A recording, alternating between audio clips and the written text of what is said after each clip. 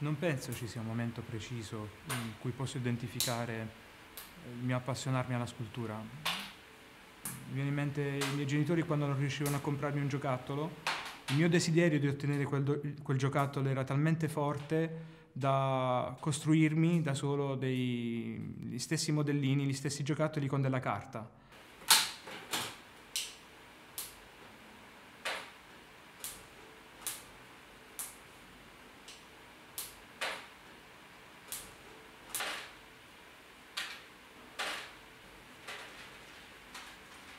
Io nelle mie sculture utilizzo eh, principalmente le resine e, e la fusione a cera persa, in modo particolare l'alluminio.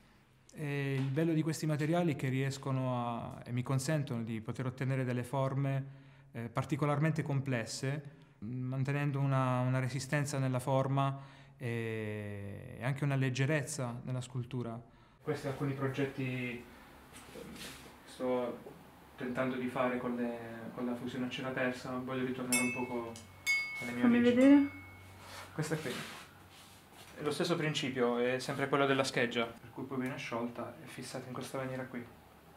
Questo, tutto ciò che c'era poi nella tecnica della fusione a cera persa, ovviamente, eh, verrà sciolta, la cera per cui si perderà, ecco perché si chiama cera persa, e laddove c'era la cera verrà collato il metallo.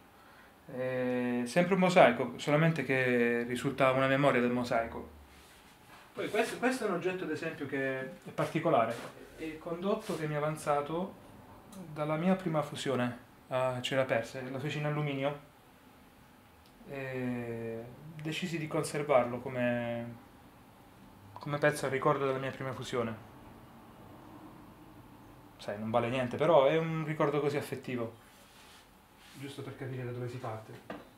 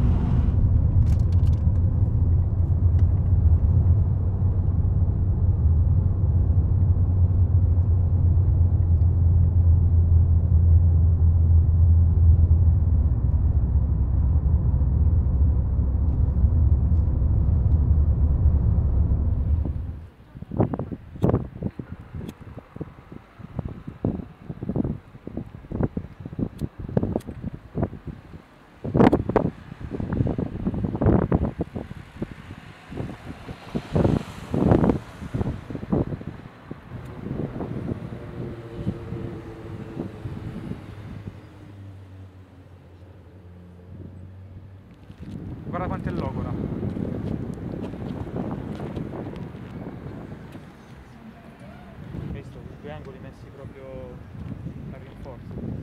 È più particolare questa. È ne infatti.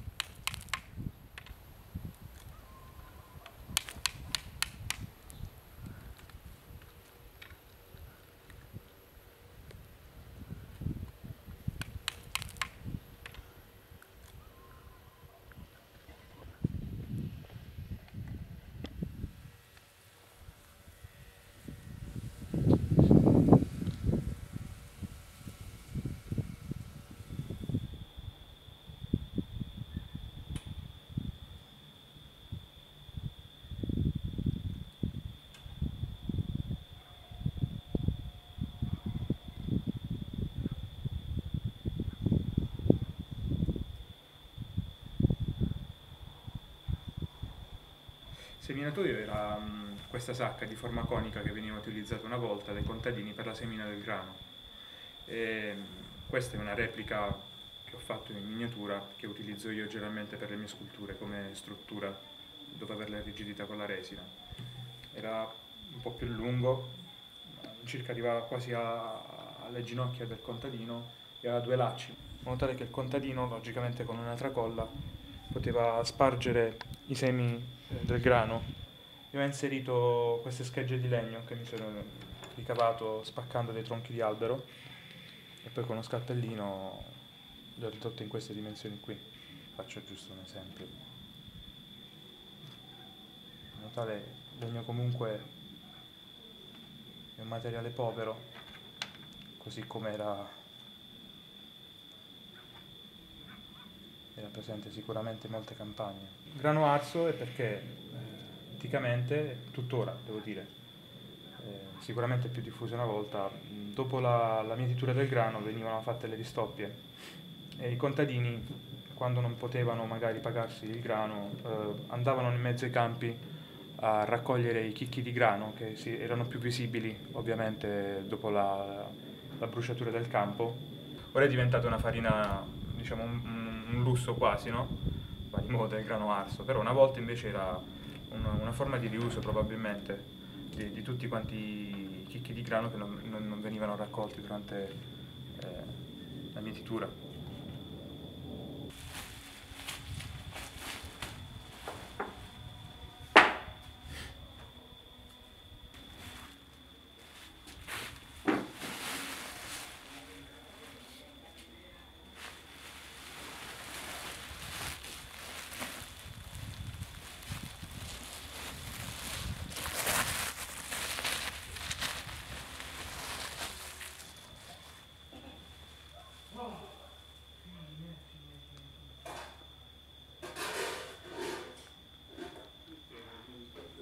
C'è un legame quasi ancestrale, nel senso è viscerale. Mm, ciò che racconto, oltre che essere frutto di racconto della mia terra, è anche frutto racconto di, delle suggestioni mie di quando, della mia infanzia, che trascorrevo spesso in campagna con i cugini, di quello che, che vedevo e di quello che sentivo. Quei ricordi sicuramente mm, sono indelebili in me e hanno fatto sì che questo desiderio fosse sempre più forte, tanto da riportarlo nella scultura.